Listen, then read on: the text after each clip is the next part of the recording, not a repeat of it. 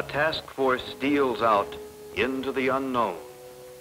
Its mission, exacting and secret, is all part of a much larger story. Its success depending upon some shrewd conclusions, some calculated and evaluated inferences, based on the best of information. As the battle pattern develops, fleet units, planes, ships, and undersea craft join in the uncompromising task. A move to cripple the enemy and destroy his means of resistance. In cockpits, chart rooms, and the con, the array of designated targets reveals the mission's real significance. And in locating these targets, the camera and photographic interpretation have played an important part. Operational intelligence demands facts. Facts and more facts about the enemy, depending heavily upon information secured by photographs.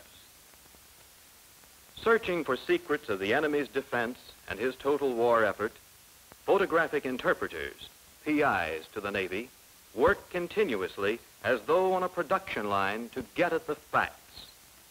These highly trained officers, whose sharp eyes correlate what they see with a wide range of specialized knowledge, look for items as small as one one-thousandth of a foot in length.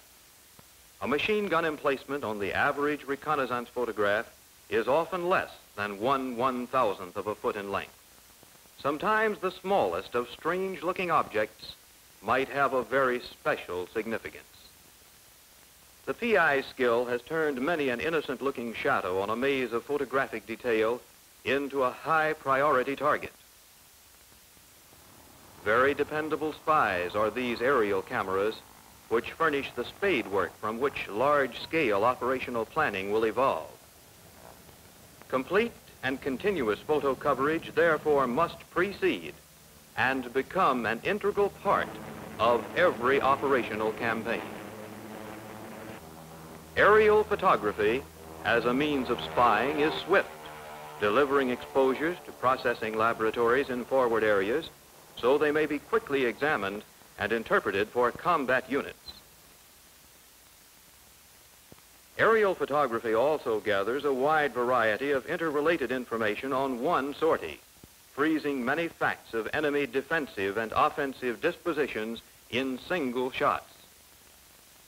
Facts revealed on this section of an enemy airfield show the hangars, the generators, the maintenance shop area, AA batteries, heavy and light, even a decoy plane and some camouflaged ones. Reconnaissance and photo interpretation of enemy airfields can now deduce the effective enemy strength to such a degree of accuracy that each pilot going in on the mission is assigned his special target. Good aerial photographs also provide references for increasing the accuracy of older maps. Coastlines will be corrected and more accurate topographic data added. Glaring discrepancies in older maps frequently show up when compared with photo mosaics. And amid the pressure of battle, this uncompromising photograph aided by sharp interpretation, suddenly revealed a nearly completed enemy airstrip, neatly, but not too completely, tucked under the natural cover of palm trees. Photo reconnaissance can operate around the clock. With the aid of the flash bomb, pictorial intelligence is carried into the night. Each of these 50-pound bombs packs an equivalent of 6 million candle power of light Dropping to the desired level, it explodes, and the glare of light automatically trips the camera shutter.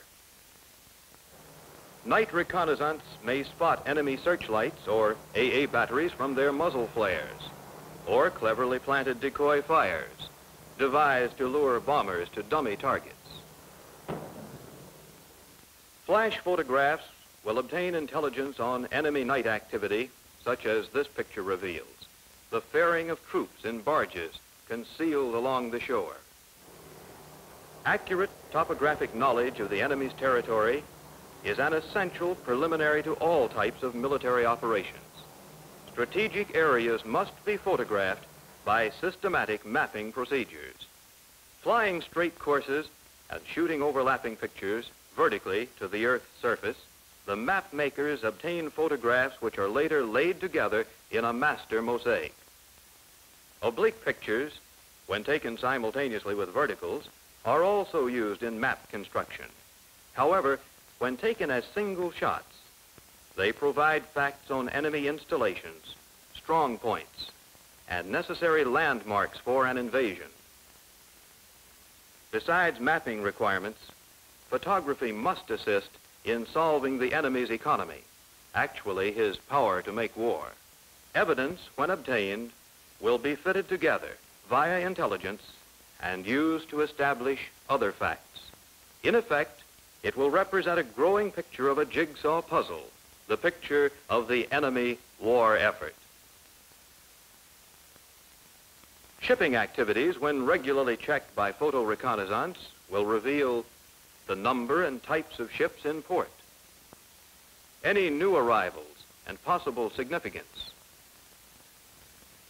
most likely cargoes and probable destinations, the nature and condition of port facilities, wharfage, dry dockage, and repair status. Periscope photographs from submarines added a new source of intelligence on shipping, namely the disposition of enemy task forces and definite identification of submarine kills. Rail systems, a part of the enemy's lifelines, naturally are an item of high priority in attack.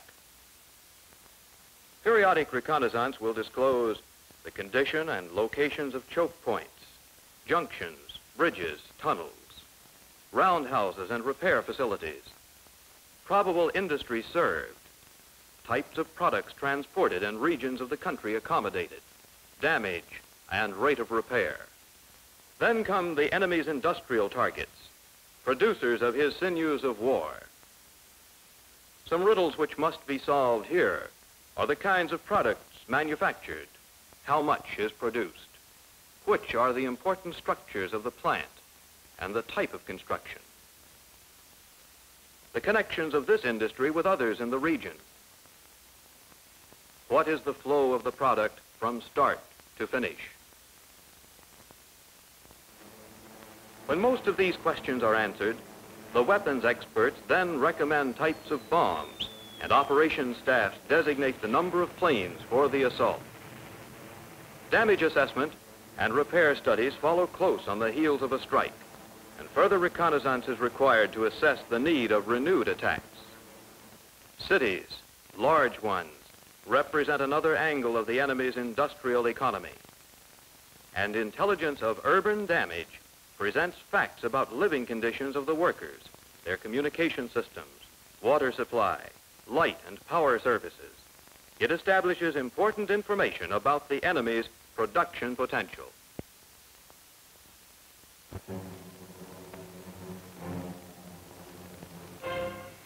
H-hour minus two, and amphibious Operation X draws a deep breath. Significant to every unit involved in an amphibious mission is the vast amount of graphic material which must be procured, interpreted, and distributed to those involved. Not a man among the thousands who will shell those shores and storm the beaches has ever set foot on that soil. Yet all who are to have a part in that complicated action will know the terrain almost as well as if they'd trailed an organized cook's tour of the place. Down in CIC, gunnery mosaics with gridded references, approach maps, and the defense maps assist the gunfire support ships to work their way in and silence the defense batteries.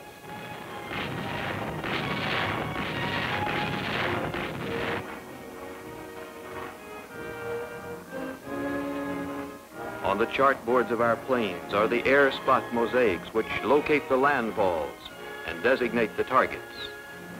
In the combat jackets of infantry platoon leaders, coxswains, and navigators are the reliable beach landing charts.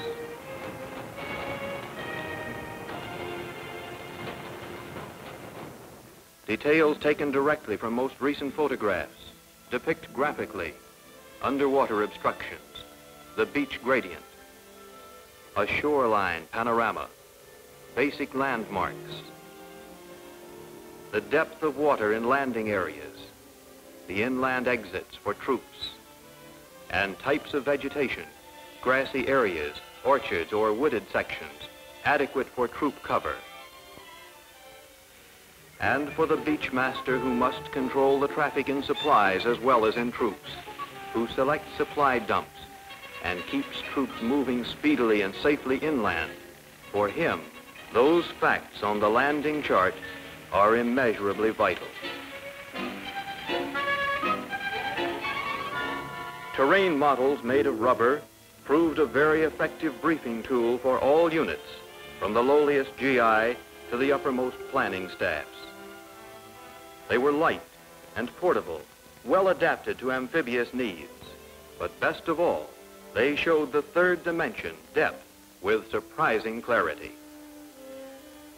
Constant and at times ingenious use was made of rubber terrain models, as, for instance, when on the eve of a historic invasion, they were uh, informally substituted for the real thing in a panoramic study of the enemy coastline.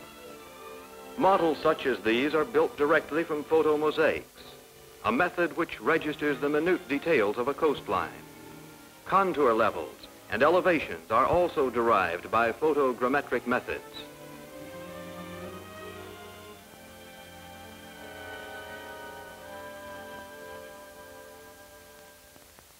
And finally, the whole terrain, its soil, rocks, sand, vegetation, and water are tinted to correspond to authentic color photographs. The diversity of photographic assignments in planning and executing an offensive movement might be clarified by observing its function and that of photographic interpretation in an amphibious operation. Here are assignments of the early planning stages.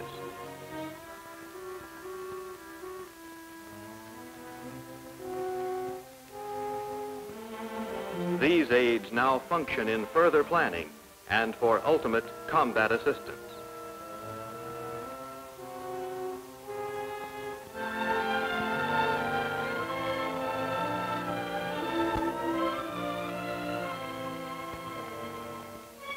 As the operation proceeds, reconnaissance is still essential, furnishing intelligence through which all forces ashore and afloat can coordinate their efforts.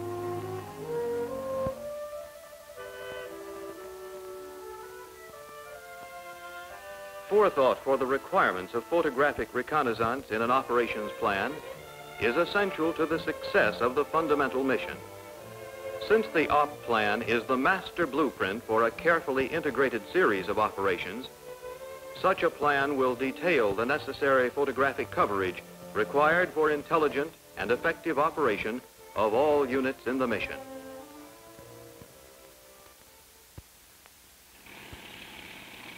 Thus far, only the combat uses of photography have been cited, but there remain other important assignments which arise as part of the long-range problems of security. Temporary government of mandated territories will require new surveys of land areas and resources, intelligence to implement a more permanent and peaceful economy. Large unsurveyed areas will be mapped and old maps will be revised. Multiple cameras, actually three cameras or more operating in unison, will be employed. So great is their coverage that 26,000 square miles can be photographed in the short space of three hours. Pictures in unit multiples, all obliques and verticals taken at the same interval, are laid together and spotted by photogrammetric methods, thus making a mathematically precise mosaic map. New industrial and geologic surveys will also require additional reconnaissance. Far-flung mining resources in oil and metals are now investigated by new devices ingeniously coupled with photographic mapping instruments. The airborne magnetometer synchronized with mapping cameras, determines speedily and quite cheaply the locations of certain minerals, a veritable aerial divining rod for detecting resources. Then to the ends of the Earth, our polar regions will be fields for widespread photographic surveys. In the South Polar Continent, the exact locations of its elusive land masses, shorelines, and contours will be the objects of increasing survey. While in the north, with new and speedier air travel across the Arctic, opening intercontinental transportation, there will be further need of mapping and exploration. Photographic reconnaissance has given widespread proof of its value as an agent for providing effective intelligence. The airborne camera and interpretation techniques must keep well abreast of threats to peace. Photography and photographic interpretation will then be resourceful in peace or in war as our first line of defense.